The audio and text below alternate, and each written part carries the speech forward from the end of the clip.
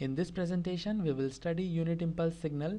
Unit impulse signal or unit impulse function is also known as Dirac delta function named after theoretical physicist Paul Dirac.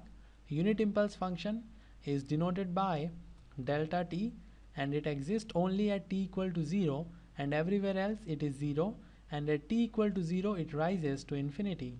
So delta t is equal to infinity when time t is equal to 0 and it is 0 when time t is not equal to 0 and by using this definition we can easily plot the waveform the waveform of unit impulse function when time t is equal to 0 delta t rises to infinity and when time t is not equal to 0 delta t is equal to 0 now why we call impulse signal unit impulse signal?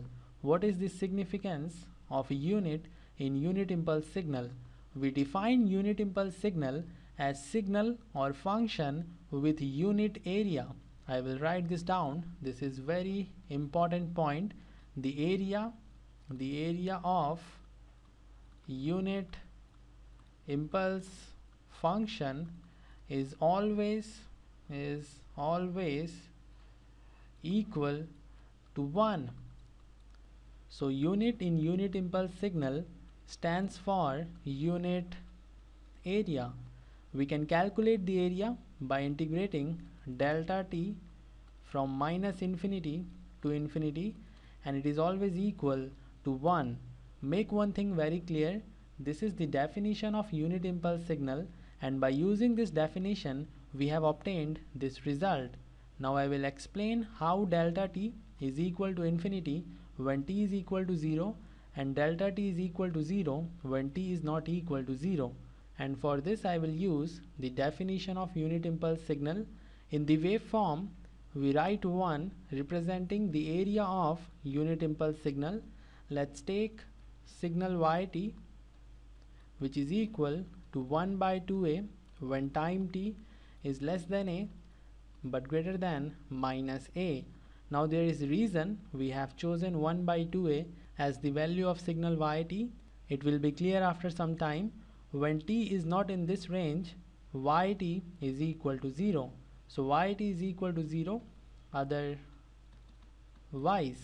Now I will plot the waveform of signal yt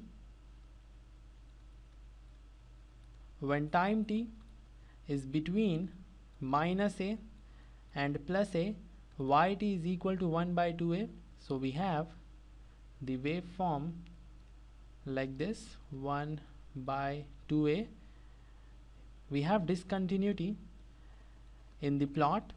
When t is less than minus a yt is equal to 0 when t is greater than a yt is again equal to 0 let's try to find out area under the plot. To find out area we need to integrate yt yt from minus infinity to infinity. But there is no need to integrate yt from minus infinity to infinity because yt is not equal to 0 only from minus a to a. So we can integrate from minus a to a. The area is equal to base multiplied with the height. This is the height equal to 1 by 2a and this is the base equal to 2a. So area is 2a multiplied with 1 by 2a which is equal to 1. Now what will happen if we decrease minus a and a and I'm talking about decrement in magnitude let's say we have minus a by 2 in place of minus a and a by 2 in place of a the new width the new width is equal to a. Initially the width was 2a but now width is a. So width is reduced and to maintain the condition of unit area the height must increase. So the height will increase and the new height is equal to 1 by a. So the area is a multiplied with 1 by a which is equal to 1 so the condition of unit area is maintained. And if we decrease the width more the height will increase more like this. And when a tends to 0 the height or yt tends to infinity this is why when time t is equal to 0 delta t rises to infinity. So this was the small introduction about the unit impulse signal. The next lecture is very important. We will discuss various properties of unit impulse signal. If you have any doubt in this lecture you may ask in the comment section. I will end this lecture here. See you in the next one.